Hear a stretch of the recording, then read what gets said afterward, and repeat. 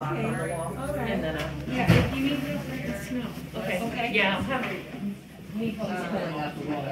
Okay, okay. Here is Charlotte's card so far. He's got one. Amy, what did you find on this? Because the only recent one I got mine is not the same trucks one. It's an IH truck.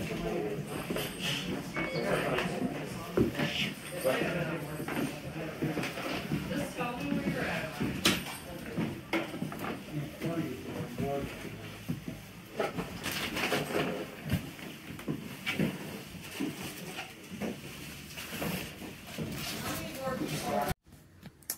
How's it going, guys? As you can see, I'm back with another estate sale video.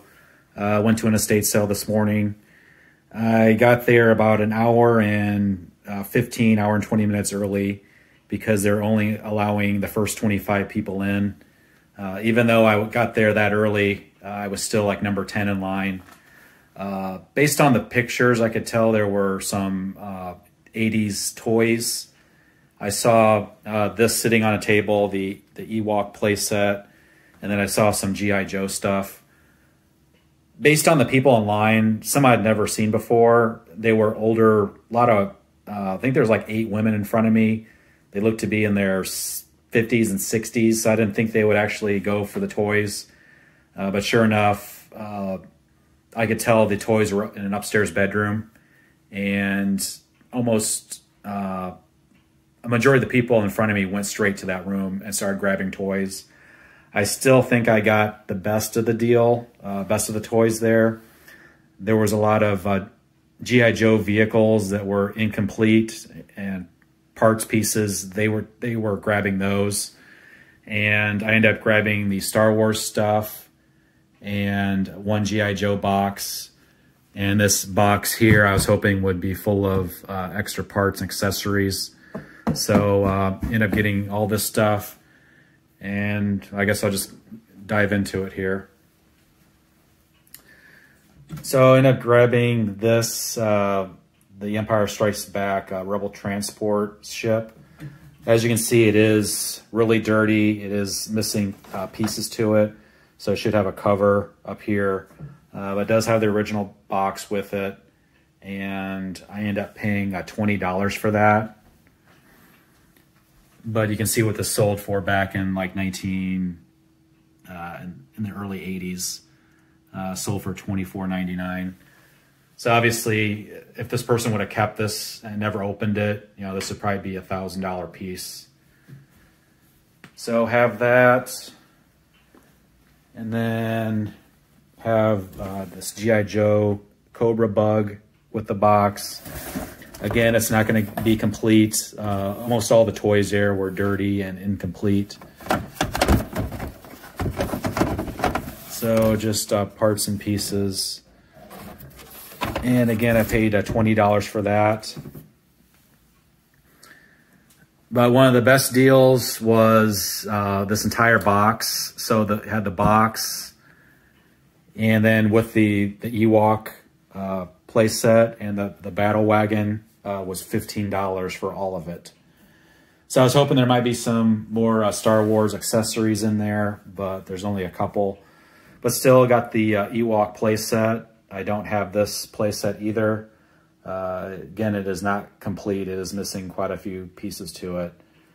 But uh, I paid next to nothing for it. And then the uh, Battle Wagon. This is also a pretty desirable, uncommon piece.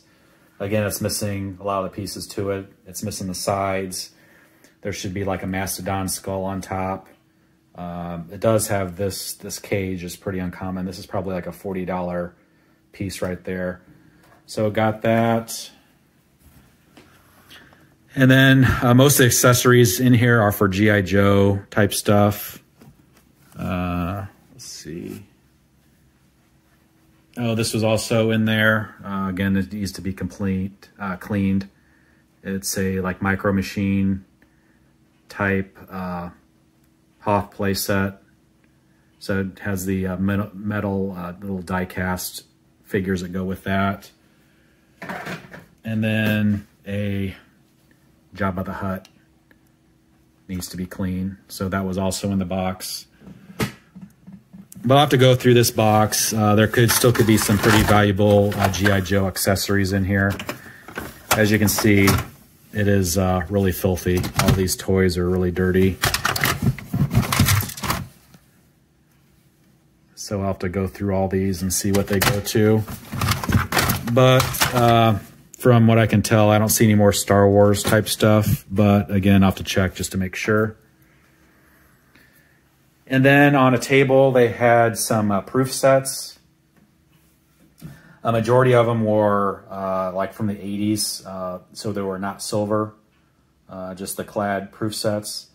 But on the very bottom of all the proof sets, I came across these. Uh, these were like, uh, all the proof sets were $10 a piece. So I ended up getting four 1963 proof sets, and they're all sealed still. So I have four 63s, uh, four 62s, and four 64s. Again, uh, $10 a piece, and they are sealed. It looks like they sell for around uh, 30 bucks a piece or so, 25 to 30 range. So a great deal on those. Like I said, I paid 10 bucks a piece for that. And then in the basement, end up getting some used uh, road bike parts. So have a new uh, Liberty or Liberator uh, seat. Then have a leather one made by Leper or Leaper. It's a Voyager model, uh, made in Italy, I think. And I saw one, there's none on eBay currently. I saw one, uh, these retailed new for like $149. So uh, that should be a good sale, seller.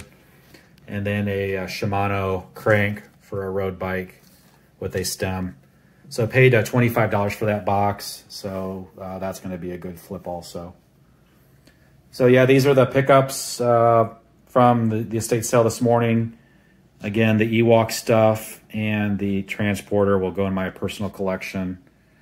And uh, I think just this box over here of just accessories, parts, and pieces, I should easily make all my money back uh, for the toys themselves.